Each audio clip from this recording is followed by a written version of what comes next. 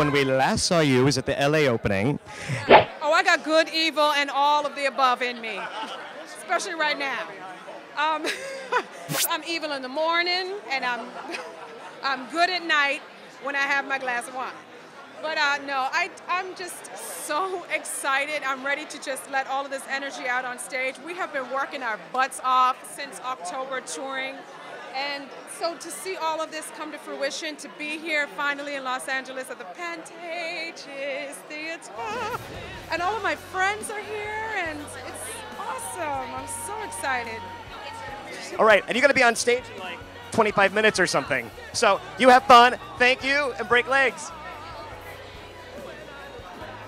And you've been doing this show for a long time now, haven't you? Well, yeah, it's been about seven, eight months now. Since a lot of kids and a lot of young actors are going to be watching these interviews from Music Theater International, do you have anything to tell them about how to hold on to keeping your part fresh when enduring 26 weeks on the road? Well, I mean, that's a really good question. I think you have to try to find your own rhythm, find what's going to keep it fresh, find that thing that's going to keep it. Um, you know, inspiring to keep doing over and over and over again. And with a character like Lucy, you've got to try and find different dynamics and find different things that work uh, to keep it interesting. We say, bring on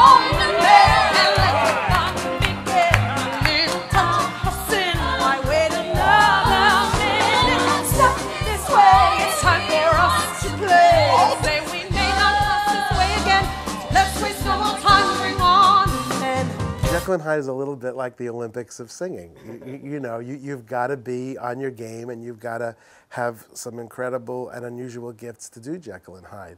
And ask anybody who has played Jekyll and Hyde or anybody who's played Lucy, and they'll tell you that. And Deborah just, oh my God, you know, like Whitney Houston, you know, who I had the privilege of writing a big hit for, um, she has that gift of both flexibility, uh, power, gracefulness, and then always that soulful sadness in her voice that just brings you in, touches you, and makes you fall in love with her.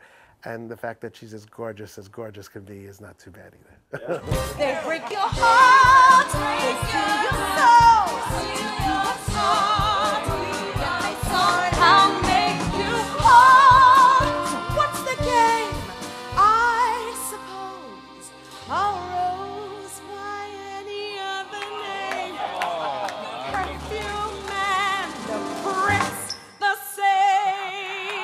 Constantine killed when I saw it in LA, and you killed even more now, and that's in the good way. I mean, not giving it, but seriously, your voice is astonishing. What's it like singing those great Frank Wildhorn songs? Oh man, I say it's epic. It's just, just epic. Those songs are absolutely beautiful.